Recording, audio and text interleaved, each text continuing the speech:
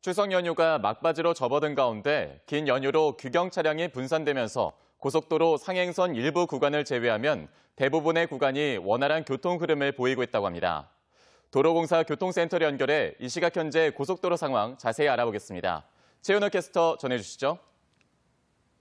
네, 오늘은 다른 날보다 정체가 많이 심하지는 않았는데요. 지금도 곳곳으로 귀경하는 차들은 많지만 앞 시간보다 정체길이 빠르게 줄고 있습니다. 때문에 조금 뒤에 출발하신다면 대전부터 서울까지 이동하는 데는 평소 안 막히는 시간대인 1시간 30분과 많이 차이 나지는 않을 것으로 보입니다.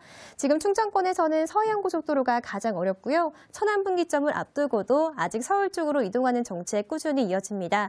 천안 논산간고속도로 천안 쪽으로 교통량 많이 줄었지만 있지만 차량 터널과 남천안 나들목 사이 부분적으로 막히고요. 경부고속도로 서울 쪽도 정체길이 많이 줄었습니다. 옥산과 청주 휴게소 사이로 6km 정체고 이후로 안성 분기점부터 안성 휴게소까지 다시 차 간격을 좁힙니다.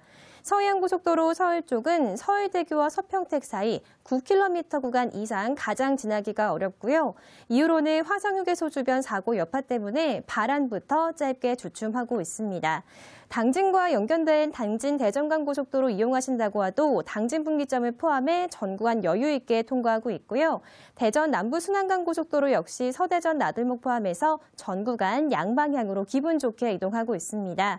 호남 고속도로 지선 이용하시더라도 유성 분기점이나 서대전 분기점을 포함해 전 구간에서 차간격 넉넉하게 이동하고 있는데요. 야간 시간대인 만큼 끝까지 안전운전 이어가시기 바랍니다. 네, 지금까지 행복의 길을 만들어가는 한국도로공사 교통 방송이었습니다.